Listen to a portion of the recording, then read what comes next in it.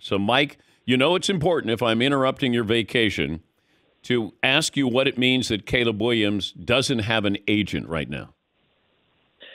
Well, in the grand scheme of things, it doesn't mean much because he's using someone, by all appearances, to negotiate with the Bears on his behalf. He said over the weekend he's not handling it, his lawyers are.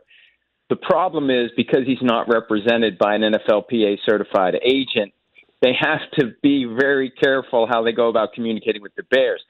I asked the league about the situation. They said the Bears told them, We are negotiating with Caleb Williams, even though Caleb says he's not handling it. Now, one of the common devices when this goes on is to set up a dummy email account that is supposedly the player, but it's actually one of his representatives communicating with the team.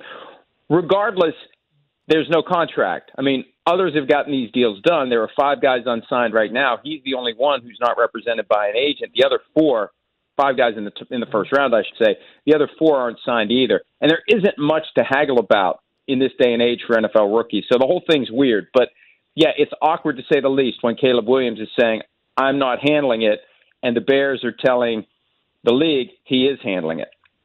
But aren't these draft picks slotted? Does Caleb Williams, like, what is left to negotiate? There's three things, Dan. One, when do they get their signing bonus money?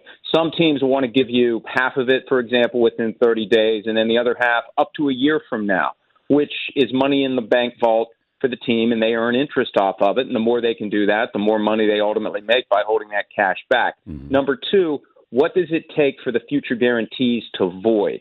What will the player do to allow the team to say, we're voiding the guarantees and then we're going to cut you because you ended up being one of the players who inevitably was a bust? Because we know of the 32 guys taken in round one, up to half of them aren't going to work out and the team might have an escape hatch if the player does something he shouldn't do, rip up the remaining guarantees. Because that's we hear about guaranteed contracts in the NFL all the time.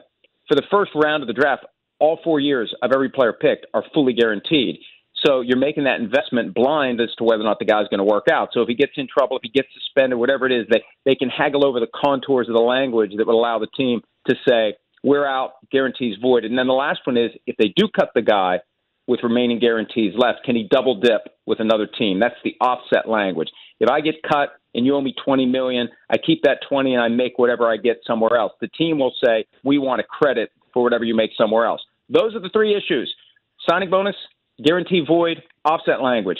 I'm trying to find out is there something else I'm missing, but historically since 2011 those have been the three sticking points for rookie contracts.